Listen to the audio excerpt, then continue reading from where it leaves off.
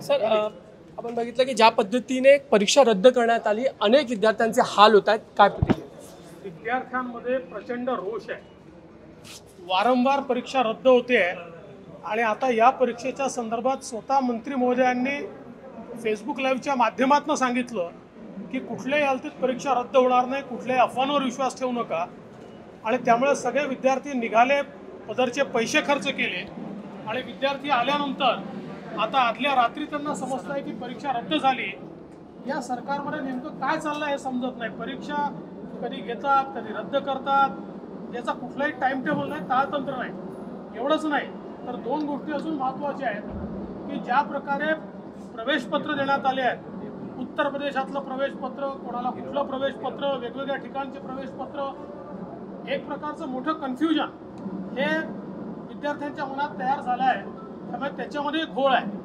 आणि त्याहीपेक्षा महत्त्वाचं असं आहे की मला तर अशाही तक्रारी मिळालेल्या आहेत की आता काही दलाल मार्केटमध्ये आले आहेत. आणि या पदांकरता पाच लाखापासून दहा लाखापासून पैसा गोळा करण्याकरता काही दलाल काम करतायत मला असं वाटतं अत्यंत गंभीर आहे. या संपूर्ण प्रकरणाकडे सरकारने गांभीर्याने पाहिलं पाहिजे.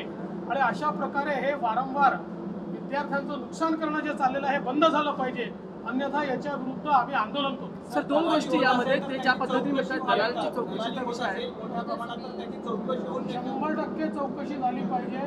कारण मोठ्या प्रमाणात हे दलाल नेमके आहेत कोण? हे लक्षात आलं पाहिजे. कारण अनेक विद्यार्थ्यांनी आमच्या इकडे तक्रारी केल्या आहेत. अनेक आमच्याकडे त्या संदर्भात फोन आले. की पाच लाख रुपये दहा लाख रुपये पंधरा लाख रुपये मागितले जात आहेत.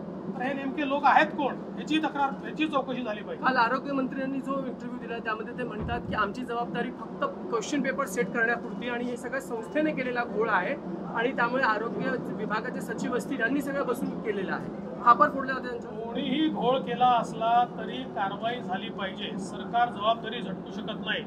सरकार करता घेतलेल्या परीक्षा जो कोणी घोळ करत असेल त्याच्यावर कारवाई करा ना. किती वेळा घोळ करायचा? या सरकारमध्ये रोज घोळच घोळ चाललाय. या सरकारला घोळ सरकार म्हणायचं का?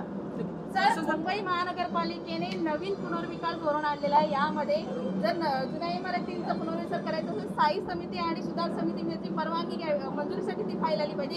यामुळे खाऊगिरी वाढेल असं वाटत नाहीये का? मी हे धोरण बघितलेलं नाही परंतु आपण म्हणता तसं जर हे असेल तर हा दलालीचा नवा अध्याय सुरू होईल.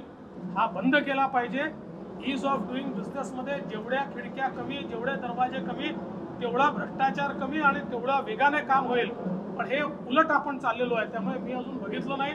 पण आपण म्हणता तसं असेल तर याचा विरोध केला पाहिजे. सर मंदिरं उशिरे का होईना पण मंदिरं आता सुरू आहे नवरात्रपासून दर्शन घेता येणार आहे. तुमची काय मला असं वाटतं की आई तुळजा भवानीने कदाचित सुबुद्धी दिलेली आहे आणि त्यामुळे सरकारने मंदिरं उघडण्याचा निर्णय घेतलेला आहे. मी स्वागत करतो देशभरातली मंदिरं. गेले सहा महिने उघडे आहेत. पण मला असं वाटतं आता उशिरा का होईना महाराष्ट्रातली मंदिरं उघडत आहेत. यामुळे जो गरीब माणूस आहे विशेषतः प्रसाद विकणारा आहे फुलं विकणारा आहे उदबत्ती विकणारा आहे तिथले सेवक आहेत तिथले पुजारी आहेत यांना तरी जगता येईल. सर शाळा सुद्धा सुरू होतात त्यामुळे पाचवी ते बारावी पाचवी ते बारावी ग्रामीण भागात आणि शहरी भागात आठवी ते बारावी या ऑक्टोबरपासून सुरू होत नाही आहे ही चांगली गोष्ट आहे. शाळा सुरू करणं कधीतरी आपल्याला हा निर्णय घ्यावाच लागेल. त्यामुळे हा निर्णय सरकारने घेतला चांगला आहे. हा निर्णय घेत असताना त्याचे जे काही काळजी घेतली पाहिजे त्याचे जे नॉर्म्स तयार केले पाहिजे ते मात्र सरकारने नॉर्म्स तयार करावेत असं आम्हाला वाटतं. महिलांना बंद कोचिंग क्लासेस कुठलाच निर्णय घेतलेला आता त्या संदर्भात कोचिंग क्लासेसचे काही ना काही निर्बंध त्या ठिकाणी जे आहेत त्या संदर्भात प्रोटोकॉल तयार करावे प्रोटोकॉल शिवाय शाळांवर सरकारचा निर्बंध आहे. कोचिंग क्लासेसवर नाही आहे त्यामुळे त्या असोसिएशन सोबत बसून सरकारने त्याचा निर्णय करावा. तर सामन्याच्या आघाडीमध्ये महिलांच्या सुरक्षेचा प्रश्न काढला जातो पण त्यात त्यातही ते म्हणतात की साकी नाका ते डोंबिवली मध्ये बोरिवली लागतं. डायव्हर्ट करण्याचा प्रयत्न करता असं काही जबाबदारी खरं सांगू का? तुम्ही का सामनाच्या आग्रलेखावर विचारता काय त्याच्यामध्ये असतं? काय रोज त्यांनी काहीतरी लिहायचं आणि तुम्ही दिवसभर बातम्या चालवायच्या? काही त्याला दर्जा उरला आहे का? काही त्याला स्टँडर्ड उरला आहे का? हा हिंदू हृदय सम्राट शिवसेना प्रमुख बाळासाहेब ठाकरेंचा सामना उरला आहे का? खरं म्हणजे मला असं वाटतं की कुठेतरी त्यांनी आत्मचिंतन करण्याची गरज आहे. मनात येईल तर राहायचं. बरं एक भूमिका ठेवली पाहिजे. आज एक भूमिका उद्या दुसरी भूमिका असते. कृपया मी हात जोडून तुम्हाला विनंती करतो. सामनावर वगैरे मला विचारत नका